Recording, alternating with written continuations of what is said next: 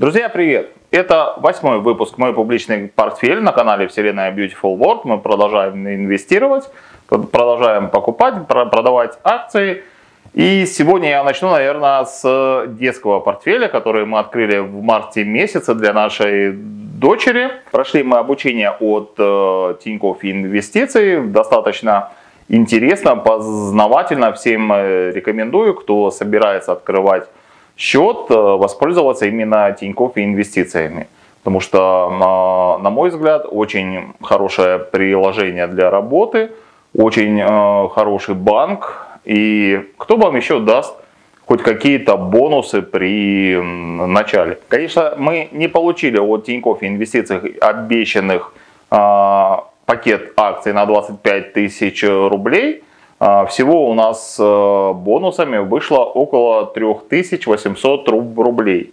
Но, на мой взгляд, это тоже очень неинтересно. Так как если вы открываете брокерский счет, допустим, в Сбере, то никаких бонусов вам не будет. Итак, за то, что мы сдали все экзамены, тесты, тестирование проводилось, в конце был финальный экзамен, который состоял из 15 вопросов. Э, за все это мы получили такие компании, как Русал, КАМАЗ. Э, две, два раза нам давали ленту, два раза Ростелеком, один раз ВТБ и два раза давали нам Детский мир. И все это вышло на 3800 с копейками рублей. Все эти подарочные акции я, конечно, продал и вложил уже в настоящие акции. Подарочные акции это такие номинальные. Это просто деньги, которые замаскированы под акции.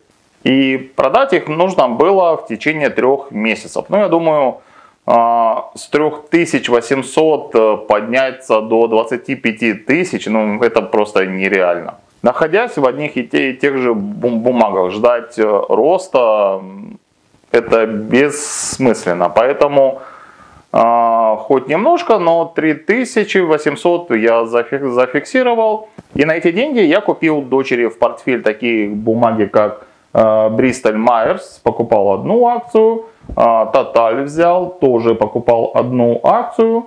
Купил 20 лотов НЛМК. И после всего этого у меня оставалось 560 рублей, а, на которые, ну, по сути, невозможно купить э, каких-то акций. Поэтому я взял э, на остаток, скажем так, на сдачу фонд э, Phoenix акции глобального рынка. И все на этом покупки в детский портфель в марте месяце у меня закончились.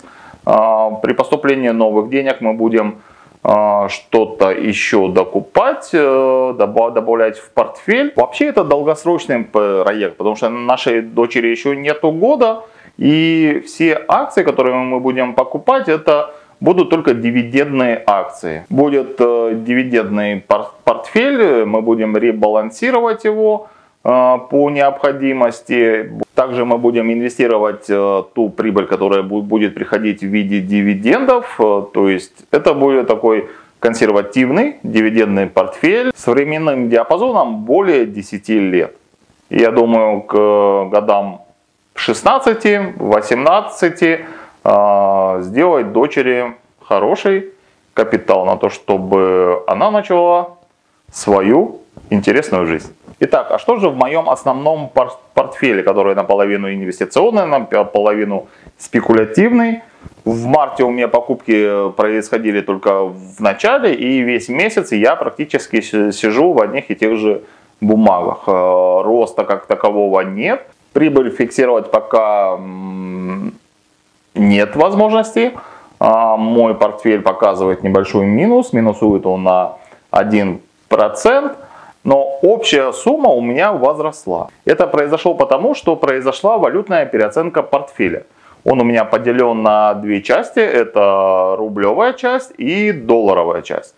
Доллар подрос, рубль упал. Соответственно, доллар в портфеле у меня преобладает. У меня 60% портфеля состоит из э, доллара и 39, ну практически 40% у меня рублевые активы. В марте реестры дивидендов закрыли а, компания Mer, компания Gilead и по сути все. Также в конце марта закрывает э, реестр акционеров компания Bristol Myers. Произойдет это 30 марта. А, дивидендная доходность составляет 0,77%. Из аутсайдеров в моем портфеле это IT-сектор. Такие компании, как э, Fastly минусуют на 13%, Mile Group тоже минусует на 13%. И по сути все, да. Еще минус по полиметаллу, но это временно. Кстати, в мае, по-моему, у полиметалла будет закрытие реестра акционеров. По фондам Finex IT компании тоже топчется на месте, показывает рост всего а, в 5%. Finex золото наконец-то ожило и тоже вышло хотя бы в ноль, но пока еще роста от нее как такового не было.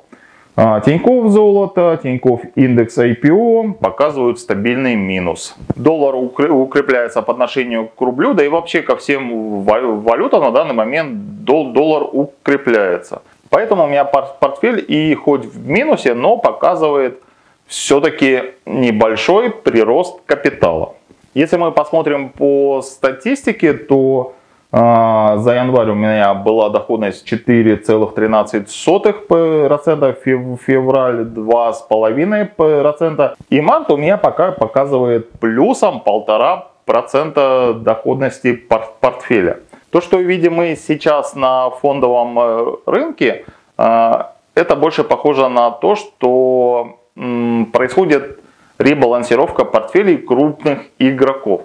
Технологический сектор просел, просел очень хорошо, и в него, я думаю, стоит заходить, стоит присматриваться. Также на фоне того, что в Суэцком канале танкер сел на мель и создал такую небольшую пробку из э, танкеров, которые перевозят э, нефть, цены на нефть немножко подросли опять. Они спускались к 60 долларам за баррель, но 60 долларов это уже такой уровень поддержки. От него мы отскочили и немножко пошли вверх. То есть э, нефтяные компании пока, я думаю, э, в перспективе у них будет рост. Банковский сектор тоже показывает небольшие плюсы. Так что в ближайшее время, апрель месяц, э, тренд на рост, я думаю, он останется и продолжится. Конечно, на рынке сейчас очень волатильно. Я сейчас вам не советую заходить в рынок с плечами, торгуйте только на свои, потому что волатильность все-таки на рынке присутствует, и она очень большая, по несколько процентов в день а, бумага может делать либо вверх, либо вниз. По российскому рынку ждем все-таки санкции, что они нам покажут. Скорее всего будет снижение российских активов, хотя а, если смотреть на УФЗ, то сейчас очень активно покупают УФЗ, как э, российские, так и американские трейджерис. Что касается э, американского рынка, то по нему опять же мы ждем э, те обещанные деньги, которые выделит правительство Соединенных Штатов для своих граждан. Я думаю, большая часть этих денег опять же придет на фондовый рынок. Поэтому осторожные покупки э, на фондовом э, рынке на данный момент я рассматриваю. Последующими усреднениями своих позиций, если рынок все-таки пойдет в более глубокую коррекцию. Спасибо, что досмотрели этот выпуск до конца. Внизу в описании есть ссылка на открытие брокерского счета. Поставьте пальцы вверх, оставляйте комментарии, делитесь этим видео в социальных сетях. А я вам говорю до новых встреч на проекте «География инвестиций». Всем пока!